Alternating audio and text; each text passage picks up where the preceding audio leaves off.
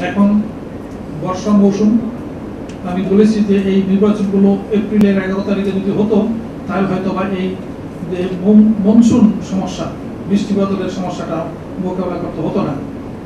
কিন্তু এই করোনার কারণে আমরা পিছিয়ে গেছি।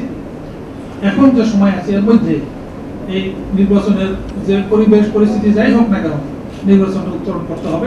এটার ব্যাপারে আপনাদের আন্তরিক সহযোগিতা এবং সাহায্য আমি আমার নির্বাচন কমিশন পক্ষ থেকে আমাদের প্রতি অনুরোধ আপনারা করবেন এবং করে থাকেন নির্বাচনের ব্যাপারে আমাদের একমাত্র পরিচয় প্রার্থী। সে প্রার্থী কোন দলের, কোন মতের, কোন বর্ণের, কোন ধর্মের? এটা একেবারেই বিবেচ্য বিষয় নয়। আমরা জানি প্রার্থীকে, যে প্রার্থীর যে সমস্যা এবং প্রার্থীর নির্বাচন প্রচারণার জন্য তার যতটুকু আইনগত এবং বিধিগত যে অধিকার, সে অধিকার প্রতিষ্ঠার জন্য আমরা সবসময় তাদের পাশে থাকব।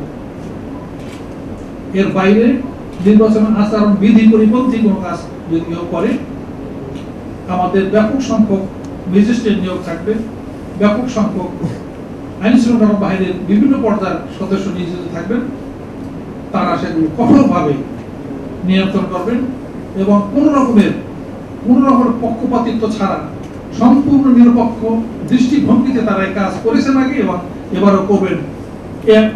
আশাবাদ আমি করতেই পারি।